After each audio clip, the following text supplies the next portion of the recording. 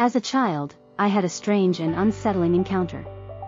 While home alone one evening, I grew bored with TV and looked out the window. Suddenly, a girl from the adjacent apartment appeared, suggesting we play outside. When I mentioned the door wouldn't open, she told me to go out through the window. Curious, I decided to follow her lead.